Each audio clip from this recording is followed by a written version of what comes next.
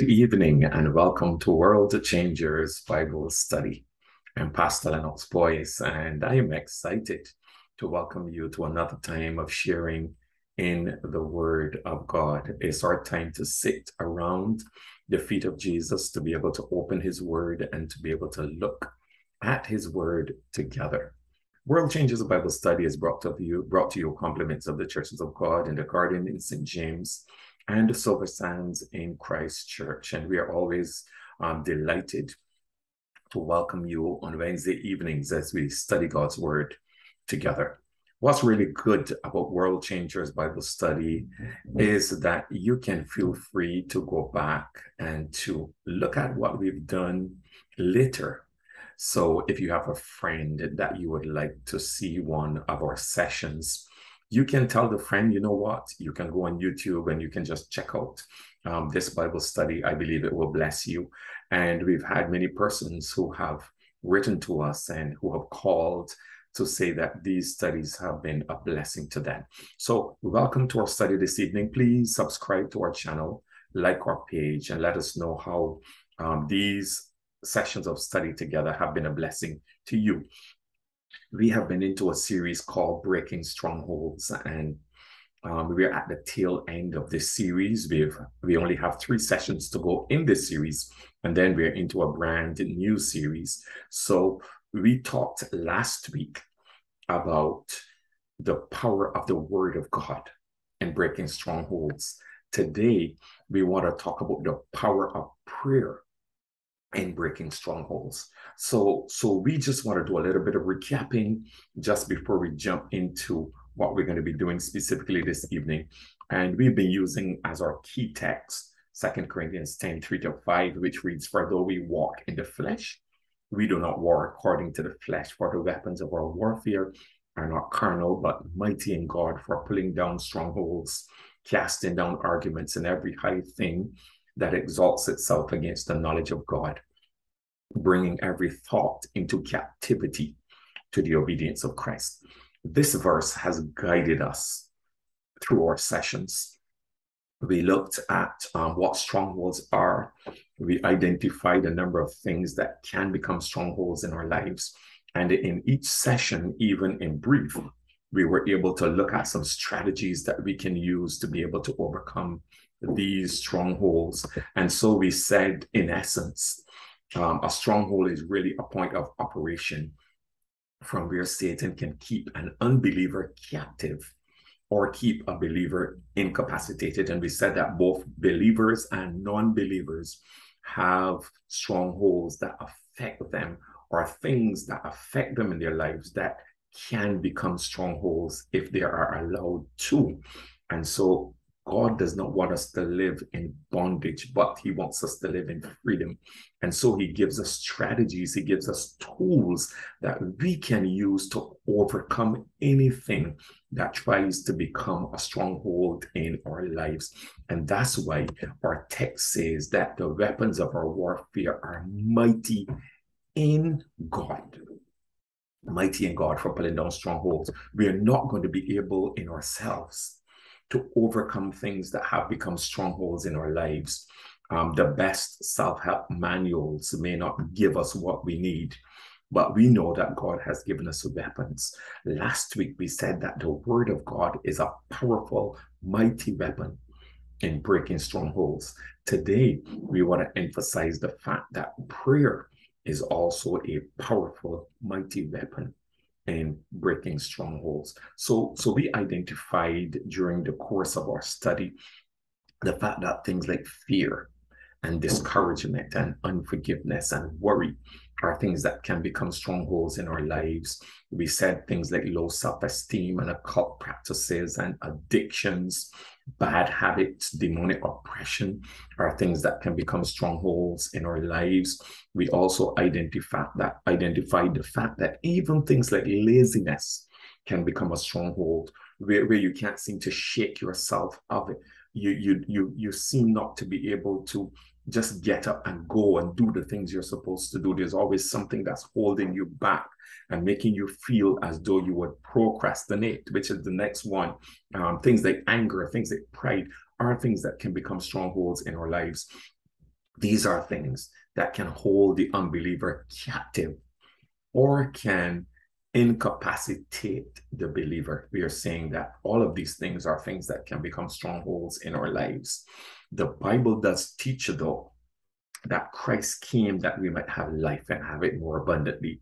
He came that we may live life to the full, that we may be free, we may be liberated, um, and we may excel in life. The thief comes to kill, to steal, and to destroy. He comes to limit. He comes to um, kill your dreams and your hopes. Um, he comes to, to kill your hope and, and tries to make you live in hopelessness. He comes to steal your joy and your peace uh, by causing you to live in fear. And he comes to destroy your life by causing you to have low self esteem and to think that you're nothing. And we said that all of these are things that the enemy does. He is the person who is very often um, responsible for having these strongholds established in our lives. We play a part because we buy into what he is saying to us or what he's um, trying to do when he tampers with our minds. But but Christ came that we might have life and that we might have that life more abundantly. Um, there is a verse that also says, The Spirit of the Lord is upon me. This is Jesus speaking in the synagogue, Luke 4 18, because he has anointed me to bring good news to the poor.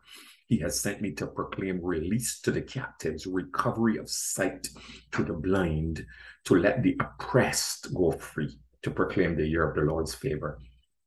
Highlighting the fact that we are not created to be in chains, to be in bondage, but we were created to be liberated, to be free, to be able to achieve and to excel in, in all the things that God has created us for.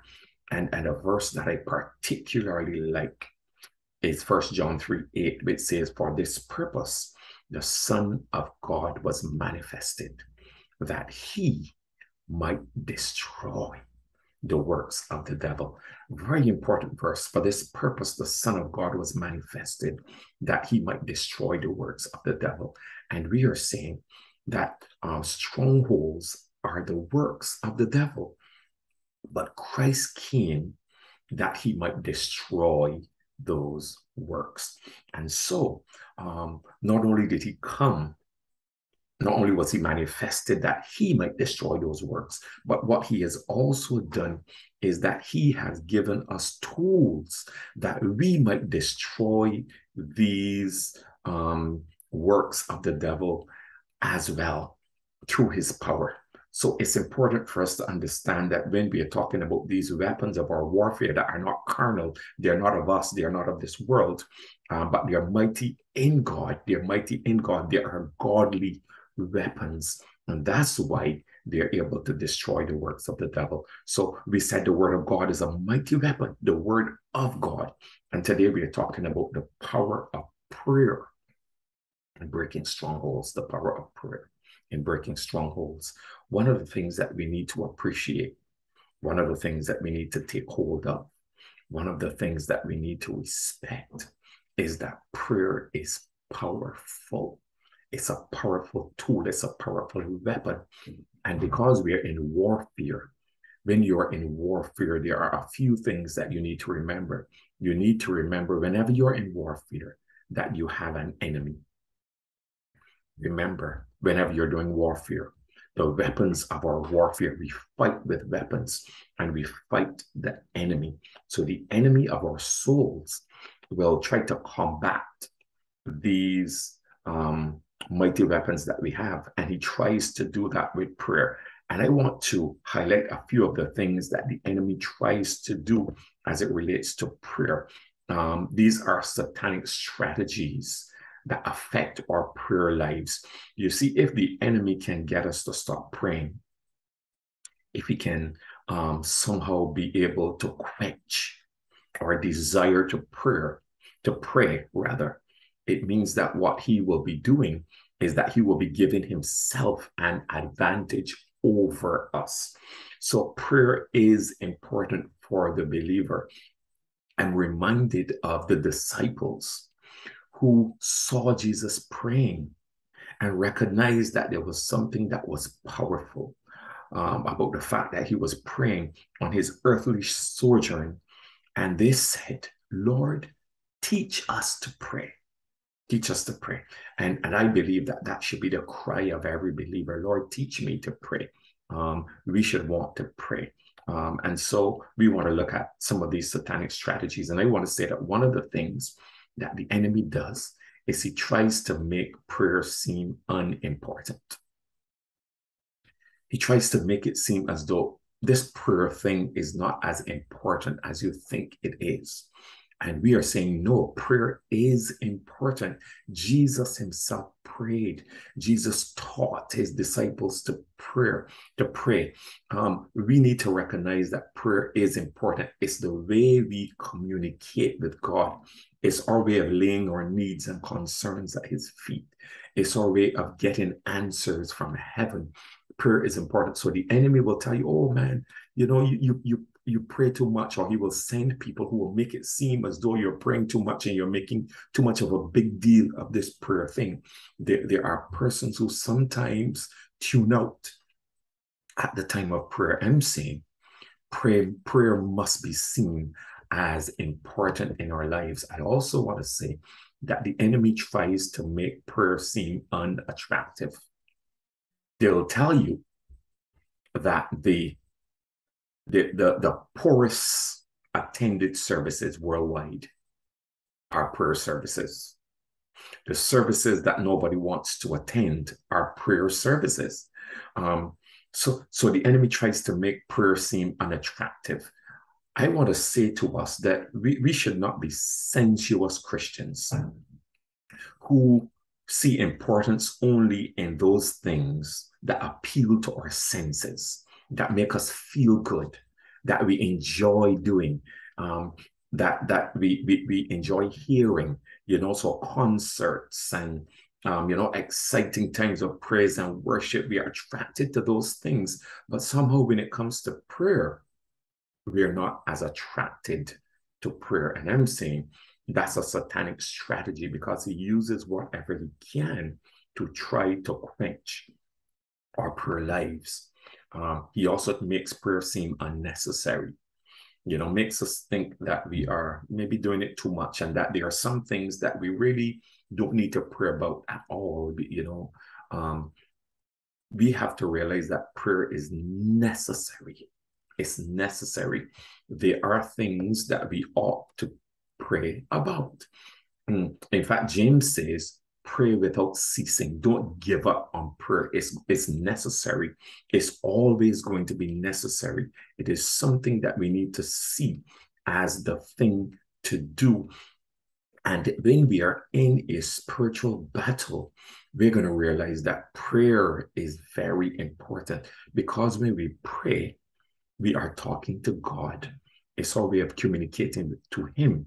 And not only does he give us guidance and direction, like we talked about last week, through his word, but he also gives us guidance and direction when we talk to him. Prayer is necessary because when we pray, we are building a relationship with Almighty God. We're becoming friends with Him. We are becoming sensitive to his voice. We, we, we get to know how he speaks to us and we become sensitive to him. So prayer is necessary. The enemy also tries to make it seem as though prayer is unprofitable. You know, that you're going to do all this praying and nothing is going to happen. I want to say that's not true. We need to understand that the, the prayer of the righteous man is powerful. Prayer is profitable. Um, you will benefit from praying. You will benefit from praying. And just like you're going to benefit from reading the word of God, you're going to benefit from praying as well. And then he tries to make prayer seem unnatural. You know, as though it's not the natural thing to do. The natural thing for the child of God to do is, is prayer. Prayer becomes something that is important to us. We ought to be people who pray every day under every circumstance. It ought to be our natural response to the things that are going on around us. So these are some of the satanic strategies the enemy uses to try to get in the way of our prayer lives. Um, why does he do it? Because he understands the power of access, the fact that we have the right to enter the holy place and call upon the name of the Lord. That's a right that we have, the power of access. And the enemy tries because he knows that when we pray, things happen. He knows that our prayers are powerful and, and he understands that, yes, as the children of God, we have this access into God's presence. Hebrews 4:14 says, Therefore, since we have a great high priest who has gone through the heavens, Jesus, the Son of God, let us hold firmly to the faith we profess. For we do not have a high priest who is made, who is sorry, who is unable to sympathize with our weaknesses. But we have one who has been tempted in every way, just as we are, yet was without sin. And here's what the writer to Hebrews says Let us then approach the throne of grace with confidence, or let us come boldly to the throne of grace so that we may receive mercy and find grace to help us in our time of need. That's a wonderful text right there that highlights the fact that we have access to Almighty God when we pray. He also understands the power of agreement. Um, so, so it's important to understand that just as unity is important in the natural realm, agreement is important in the spiritual realm. And, and the two are cousins. Um, agreement is when we get together. Um, the Bible says that any two or three agree, um, I'm going to be there in the midst of them. And, and so we, we need to understand that when we pray, there are times where we need a, a, partner to pray with us. When, when we get together with our brothers and our sisters in times of corporate prayer, that's powerful. Prayer is powerful not only individually, but corporately as, as it relates to your Christian community. Those things are important. So he understands the power of agreement. Um, before, before we go to the third one, alignment, you, you may remember when Peter was cast in prison and, and they, they, they were threatening to kill him. And the Bible says that the church began to pray. And an angel appeared, um, smote Peter on the side, led him out of the prison. And, and Peter went to the place where the prayer meeting was being held. And they were astonished that God had answered their prayer. Um, on the day of Pentecost, they were in one accord in one place. The Holy Spirit descended upon them. There is power in agreement. There's also power in alignment. What do we mean by this? Um, we mean that prayer aligns you with the mind of God. Prayer allows you to be in good standing with God prayer allows you to be in good relationship with God because you are talking to Him, you are communing with Him, you are hearing from Him. Um, and, and communication is two way. You're able to talk to God, God is able to talk to you. When, when you read the word and, and you read something like, and Abraham said to God, and God said to Abraham, it, it comes across as though they had a relationship where they were able to commune and communicate with each other. That's the same kind of relationship God wants to have with all of his children. And so eh, you, you would realize that all the great people of God in every era, in every era, who walked according to the plan of God for their lives were people of prayer. When you read the Bible, you realize that the men, the great men and women of God in, in that era were men and women of prayer. When you look at our era, you would realize that the great men and women of God, the mighty men and women of God, who were able to overcome the obstacles in their lives, who were able to ensure that there weren't strongholds in their lives, but were able to live in freedom and, and to walk according to the plan that God had designed for them without being held back. People of prayer. Why is this? Why? Because the prayer of a righteous man is powerful and effective. It has enormous benefits. The prayer of a righteous man is powerful. Why? Not because we have power in ourselves, but prayers are powerful because of who we pray to. Pray is our way of saying, Lord, I can't do it by myself. I need your help. You are my source. I am calling on you. You're the one who will give me what I need, the help that I need. So I'm calling upon you. And so I'm saying that because the prayer of a righteous man is powerful and effective, it will bring about change. It, it will have significant consequences. We ought to be people of prayer. And so I want to suggest five things, five things tonight that we need to do if we are going to be able to use prayer to break strongholds in or over our lives. Firstly, we need to ask God, and this is when we are praying, ask God to show you any strongholds that are in your life. There are times when strongholds are um, activated in our lives are claiming territory in our lives, are limiting us, and we don't even know it. So begin by asking God to show you any strongholds that are in your life. There are some that are obvious to you. There may be others that may be operating in subtle ways. Remember, we talked about the wiles of the devil and the fact that the enemy wants to be your master, but he pretends to be your playmate. And so there may be times when there are strongholds that are being established in your life bit by bit, and you are not even aware because it's hidden from your, your consciousness. And we are saying, first of all, you're going to overcome the stronghold by prayer. Ask God, begin by asking God to show you any stronghold that is in your life. That's number one. Secondly, you need to surrender your mind and your will to God. Now, we said in our very first session that strongholds begin in the mind. What we didn't say is that they begin in the mind and they end in the will.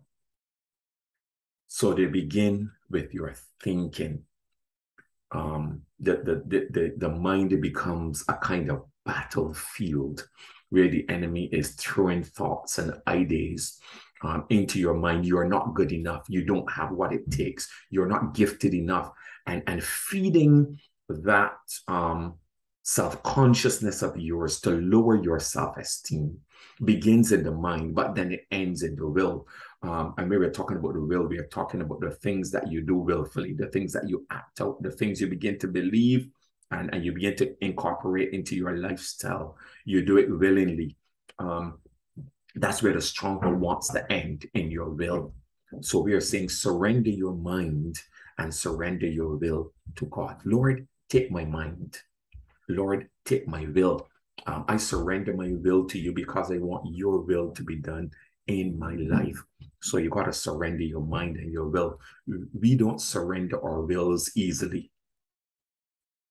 So, so there are times when we got to pray about it. We got to activate um, God's presence and God's help in surrendering our minds. Lord, I, I want you to take over this mind. I don't want it to be dominated by certain kinds of thoughts and ideas. Take my mind, take my will, make it yours. You, if you want to overcome by prayer, um, you you you can't just speak words, but but you gotta you you gotta do action. So you surrender your mind, you surrender your will to God. Um, so so you're asking Him to show you what the strongholds are, and then you're surrendering your mind and your will to God. Thirdly, you want to then begin to speak to God about the stronghold. Now, when you've surrendered your mind to God, you are saying, Lord, I want my mind to be aligned with yours when you speak to God about your your will. You're saying, Lord, I surrender my will to you and I want to embrace your will. And then you are saying, Lord, if it is fear, you, you speak to God about the stronghold of fear. You ask God to break that stronghold, and He is going to do it. Lord, break this stronghold. I recognize that fear has surrounded me. And praying today, Father, that you will break this stronghold in my life in the name of Jesus. If it is a stronghold that is trying to become established, you say, Lord, I can see that fear is trying to overtake me, but I um, pray that you will break this, you will break this stronghold of fear over my life in the name of Jesus. Whatever. If you're saying, Lord, I, I can see that unforgiveness is creeping up on me, that it, it is hard for me to forgive. Lord, I am just surrendering this to you right now. And I pray that you will break this stronghold over my life in the name of Jesus. You've got to speak to God about the stronghold. That's a very important aspect of using prayer to break the stronghold.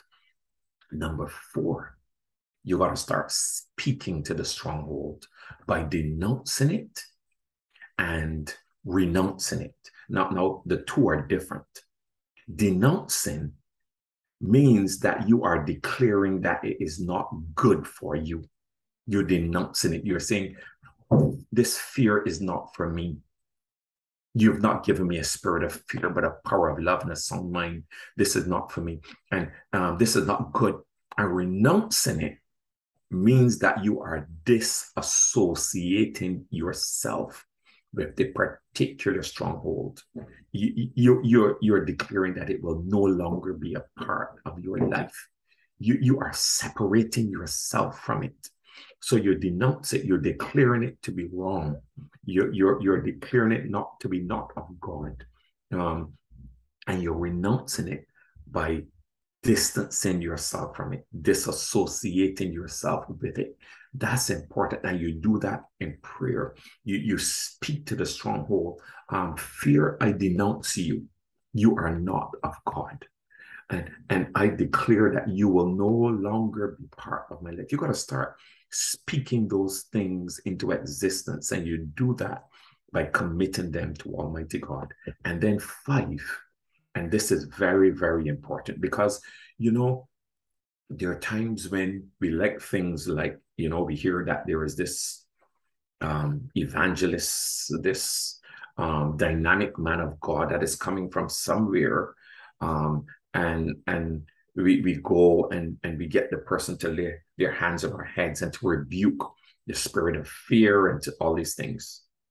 Um, and then we go back and we realize we're still fearful and we're wondering, why am I still fearful? Well, um, the thing is that when the person prayed, it may have been broken. But unless you take responsibility, you're going to realize that we fall back into some of the same traps that we were in before. So we have to make continual prayer a priority in our lives. We have to decide that we are going to be the people who are going to pray continually. I, I quoted this verse earlier, um, James 5 16, which says, Pray without ceasing, which means that we are not praying 24 hours a day, seven days a week, but we are not giving up on prayer. We are making prayer a priority in our lives. That's what it's that's what it's talking about. Ensuring that we continue to pray. Um, every day we pray. We we have a prayer list. We we we ensure that we um, commit everything in our lives, those things that are bothering us, before the throne of Almighty God. We, we continue to understand that this is a mighty weapon that God has given to us, and we don't give up on it we combat the the satanic strategies that try to make us think that is unimportant, um, that is unattractive, that is unnecessary, and we get in there with God and we pray without ceasing. When we want to have victory in life, you have to be people of continual prayer. It has to become a priority in our lives.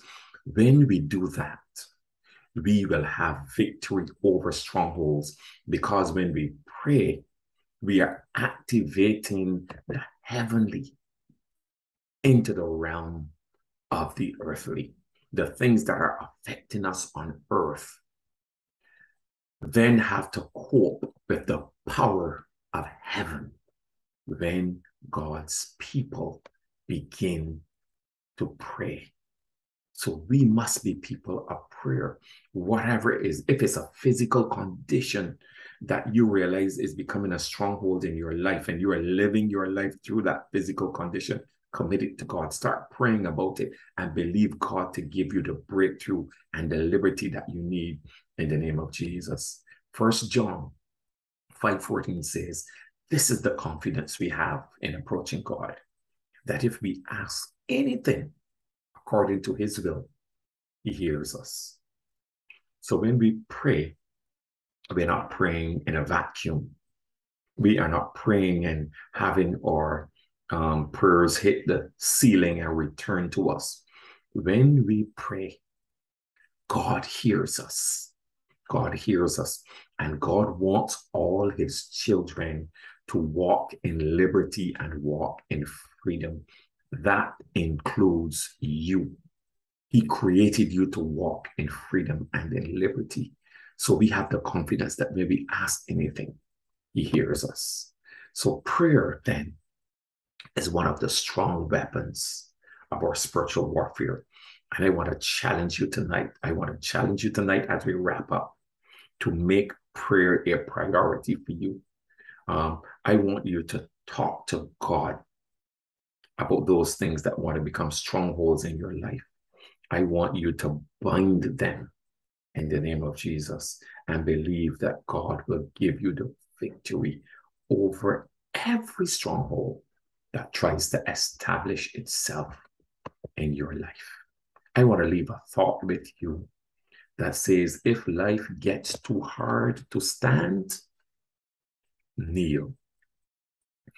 Remember in Ephesians 6, um, Paul talks about when you've done all to stand. And there are times when you do everything that you can to stand. And then he talks about the armor. And he ends by saying, praying always with all prayer and supplication. So it's saying when when when it's hard to stand, kneel. Because when you kneel before God, you can stand before anything. He who kneels before God can stand before anything, any stronghold in your life. You can stand before because there is no stronghold that is so powerful that it can withstand the omnipotent God that we serve. And that's the power that we call upon when we talk to Almighty God. Amen. Amen. Amen. Amen. So glad that you could join us this evening for World Changers Bible Study. We have two more sessions to go as we wrap up this series on breaking strongholds. I want to encourage you to be with us again next week as we um, bring um, our penultimate session to you. And then the following week, we're going to have our last session in this series, and we're going to be heading into a brand new series. Thank you for being here this evening. Please go back um, if you haven't and check the other sessions we've done in this series. Um, and I look forward to seeing you again. May the Lord bless you and keep you, cause his face to shine upon you and be gracious unto you. Lift up his countenance upon you and give you peace, both now and forevermore. Um, and Lennox Boyce saying good night and may God bless you.